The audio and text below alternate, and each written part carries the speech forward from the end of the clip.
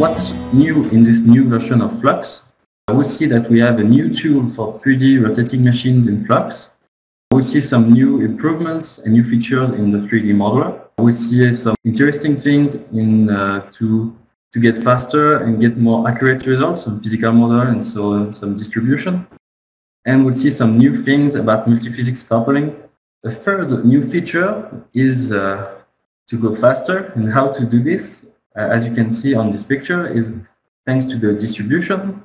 So you might know that before uh, distribution of computation was available through GOT-It, which means you could run all the computation for the optimization uh, with the distribution, so it could, go, it could go faster.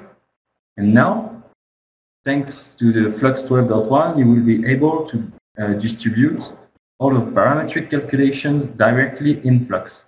Uh, so I will show you how easy, easy it is to configure, to use. Uh, we made a lot of work on, on making this uh, job management more robust so that there's no error inside the, the distribution of uh, computation. And of course, you will benefit from fast results uh, in uh, every parametric project. So what is important for you is that we use the same tokens as GOT-It CDE. So if you have already bought some uh, tokens from uh, for GOT-It and CDE, these are the same tokens that can uh, provide you some uh, speed up for the parametric analysis. And if you are if you didn't have any uh, distribution tokens, uh, you will get some free evaluation when updating your license to Flux 12.1, which means when you update your license, directly in Flux, you will be able to test the parametric distribution of, of, computation. So it's very important that you take advantage of all the available computing power of your machine. So I can show you very quickly.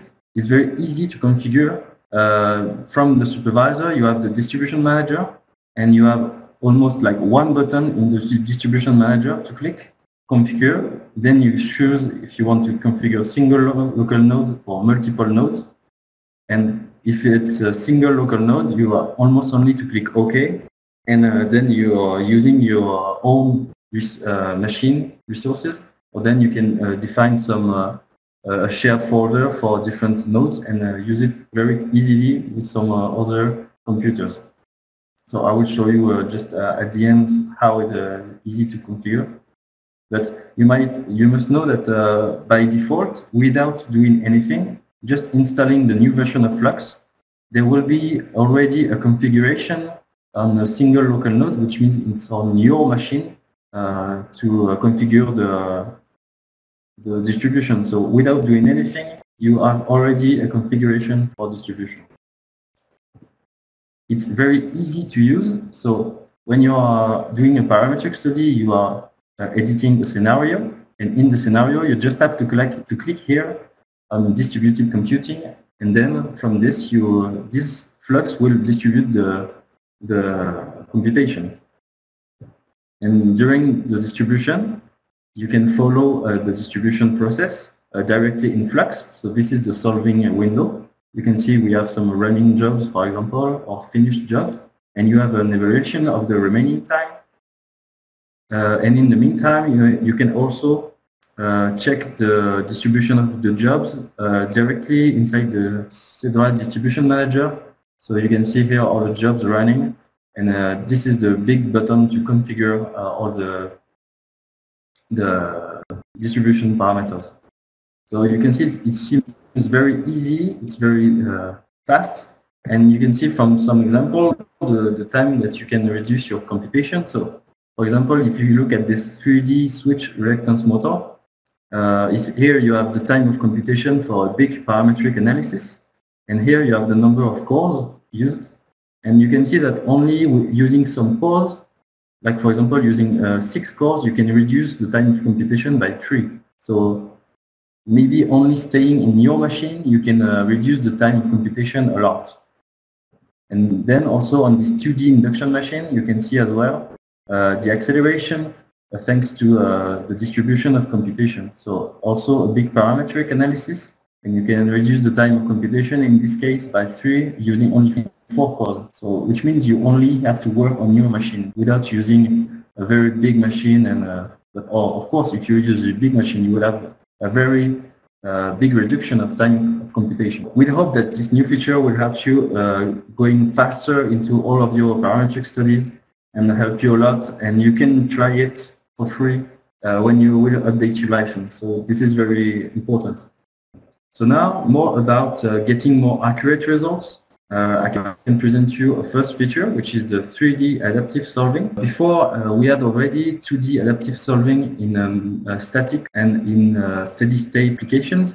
Now, we are able to do the 3D adaptive solving in 3D magnetostatics and electrostatics. What does it mean? It means that uh, when you solve your project, you can uh, let Flux find the mesh on the parts that need to be refined. So for example, here you have an actuator with a magnet in pink. And after the solving, Flux will show you the, the mesh it used and it was a refined mesh here on the magnet to be sure that the results are correct. So this is based on the error criterion in the mesh, which is already uh, available in all the applications. This will help you going further and going quicker if you're not an expert in meshing and it, it could just save you some time instead of uh, trying to mesh yourself for the, the project. So here you can see on another example, this is a very bad mesh at the beginning, and after only one refining iteration, you can obtain this kind of mesh, which is uh, thin enough here in this box to be uh, correct. And here you can see that it does not refine the mesh, so it will uh, refine mainly where the, the physics is happening inside the device. Uh, also, if you remember uh, last year Flux 12 uh, new version, we had implemented a new hysteresis model. So still this hysteresis model is something new for us because we, are, we have now more experience in this and we have some more examples. So just to remember, it's a static model. And uh, this year we added a new tool uh, with this model to evaluate Jiles-Atherton parameters value which means that now you have access to a hysteresis material. And to use this kind of material, you need coefficients. And to obtain these coefficients, we provide you a tool uh, here that can help you from the BH curve here to obtain the different coefficients to uh, take into account all the hysteresis effect and mainly the remanence effect. So this can help you um, modeling some actuators, some sort of transformers, for example, if you have an inrush current, for example, that might be very helpful to use hysteresis model.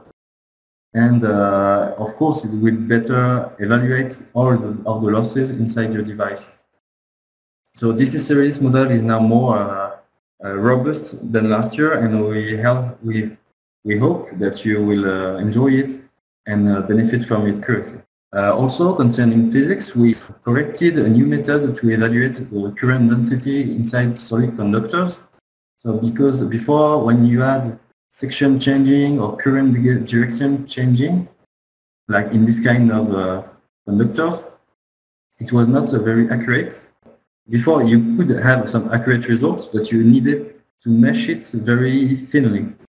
So now, with a normal mesh, without uh, doing something very, very strong, you can have uh, the very good results. It's a very good uh, innovation for all solid conductors users. We have a lot of macros, so around 150 macros, and we added some more macros this year. Some capacitance matrix computation, which can be useful uh, instead of going to solve a lot of electrostatic studies. Some demagnetization in 3D, uh, doing some Faulhaber coils, like coils like this, which are already done in, thanks to a macro. Uh, you can create a 2D project from a 3D project uh, doing a cut. So if you choose a cut plane, you can create directly a 2D project from this. And on and on, we have some more macros going on. We also added some examples from uh, SRM 2D, so synchronous reluctance machine uh, inside the supervisor, a magnetization case, and so on. And we also updated all the tutorials using the sketcher and the modeler so that you can learn how to uh, do all these examples with the latest geometry tools. You will also uh, benefit from a latest Jython update, which means that very soon, thanks to this update, uh, you will have NumPy and SciPy available as libraries for Python users. Also that we have only Flux 62, 64 bits, and we also can support Windows 10. Now to conclude about all of this uh, presentation of new features in Flux 12.1, you, you could see that we made some work for uh, making the modeler more robust and more efficient. And uh, you might enjoy uh, the import capabilities that are very higher than uh, before. So you can uh, trust them very, very strongly. Uh, you will enjoy the fast and easy way to, to, to compute uh, distribution, to run adaptive solving computations. And uh, if you are motor designers, you will enjoy the overlays, which will be available for people already owning the overlays. It's not something new that you have to buy. If you are already the overlay in 2D, you have the overlay in 3D. And we had some more precise models for induction heating, for current in solid conductors. And what's um, it's very important also for all the machine designers is a vibroacoustic for ANSYS mechanical exports.